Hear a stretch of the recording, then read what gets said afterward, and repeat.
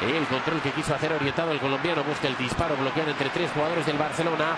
Vanega para Coque, le pega Coque, desviado. El disparo de Coque.